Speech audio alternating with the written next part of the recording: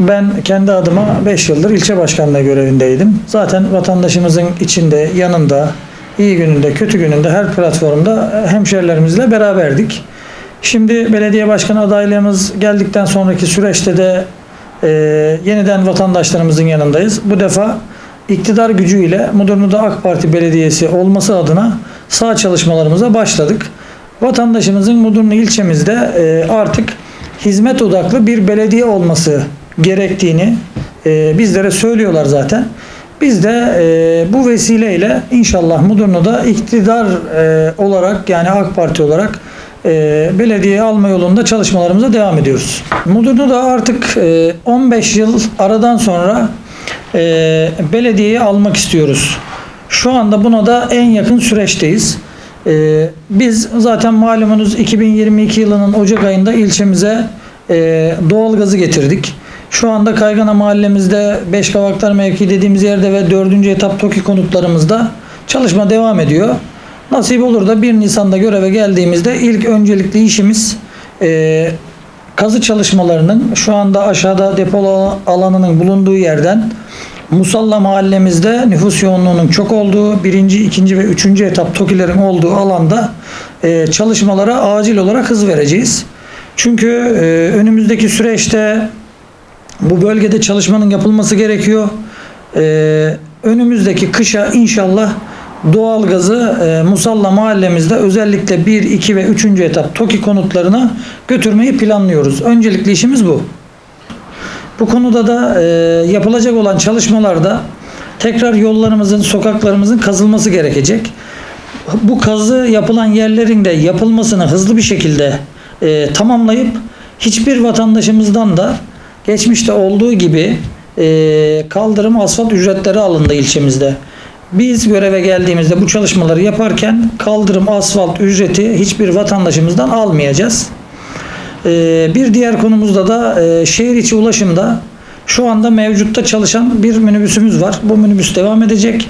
Belki yanına biz bir araç daha alacağız. İlçemizdeki ulaşım noktasındaki ulaşım ağını biraz daha hafifleteceğiz. Akabinde ilçemizde bulunan pazar yerimizde bir katlı otopark, kapalı pazar yeri ve bir kent meydanı projemiz var.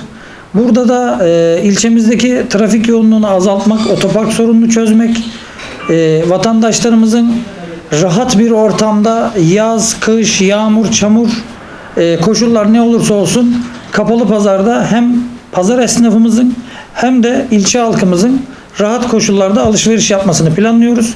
Aynı zamanda da en üst katta da yolla aynı hizada olacak şekilde ilçemize bir kent meydanı kazandırmayı planlıyoruz.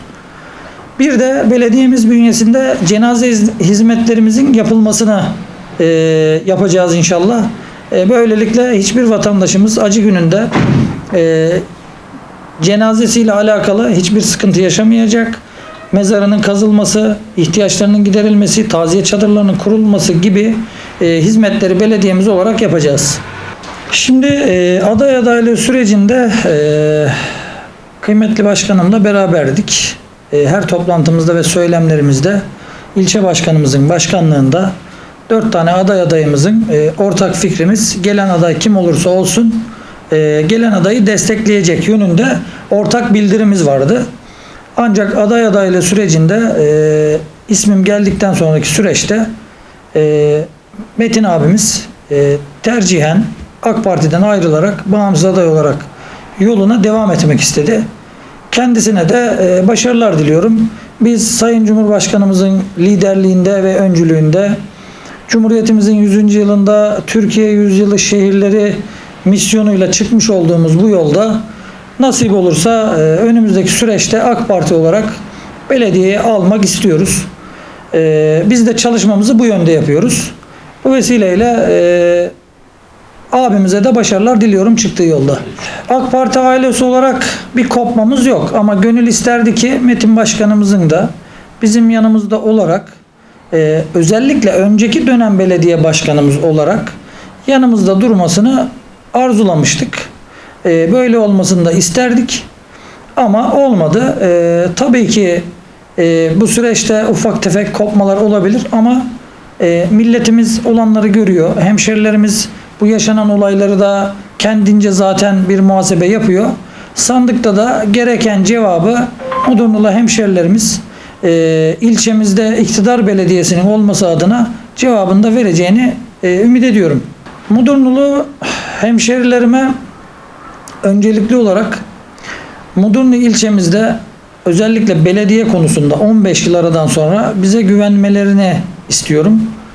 Bunu 5 yıllık ilçe başkanlığı dönemimde yaptıklarımız özellikle doğalgazı ilçemize getirmek, işte Bolu Mudurnu yolunun bitirilmesi, ilçemize bir hastane kazandırılması, kapalı spor salonu kazandırılması, hastanemizi kazandırdıktan sonra içine bir çocuk doktoru getirilmesi, dahiliye doktorlarımızın ilçemize kazandırılması ve bir de hayırsever büyüğümüz Süreyya Astarcı e, amcamız kanalıyla da bir diyaliz ünitesi kazandırdık.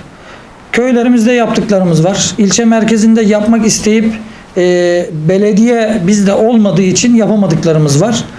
Ben seçmenimizden e, şunu isterim. Bu süreçte bize destek olmaları halinde belediyeyi de kazanmamız durumunda iktidar gücüyle ilçemizin 15 yıllık açığını kapatacak projelerimizle başta doğalgaz, sağlık turizmi, inanç turizmi, ekoturizm, babaz kaplıcalarımız ilçemizde bulunan atıl olan futbol sahamızın yapımından başlayarak ilçemiz nezdinde gerekli olan bütün eksikleri gidereceğimizi taahhüt ediyoruz. Bu konuda da bizi desteklemelerini istiyoruz.